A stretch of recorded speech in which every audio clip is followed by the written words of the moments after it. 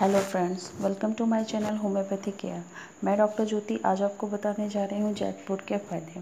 Jack fruit में rich source होता है विटामिन बी कॉम्प्लेक्स का और जैक फ्रूट के रेगुलर खाने से बीपी हाइपरटेंशन की कंप्लेंट कम होती है बीपी मेंटेन करता है और कैंसर को भी प्रिवेंट करता है, जैसे कोलून कैंसर हो गया डाइजेस्टिव ट्रैक्ट का कोई भी कैंसर हो गया अदर कैंसर उसको प्रिवेंट करता है अस्थमा को कम करता है एनीमिया में एच बी इम्प्रूव करता है और अगर किसी भी फीमेल में के चेहरे पे रिंकल्स या डार्कनेस ब्लैक स्पॉट्स हो रहे हों तो इसके रेगुलर खाने से कम होता है।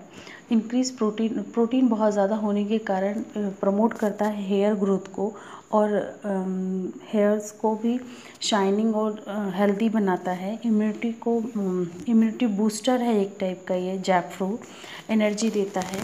एंड इम्प्रूव करता है डाइजेशन को। आई साइड विजन को भी मीन डिम विजन हो गया है, कुछ भी अदर इससे आई से रिलेटेड प्रॉब्लम को कम करता है बोन को हेल्दी रखता है ब्लड शुगर मेंटेन करता है। थायराइड कंप्लेन में भी बहुत ही हेल्पफुल है Jack fruit and anti ulcerative भी है।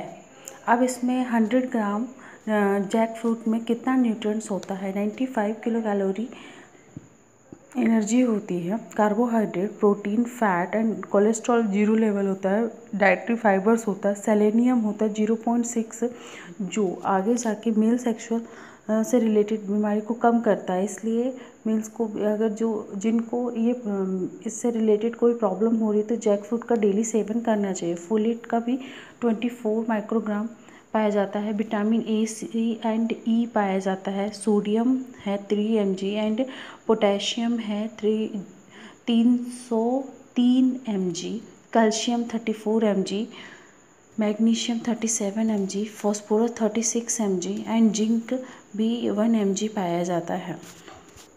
Thank you so much for watching my video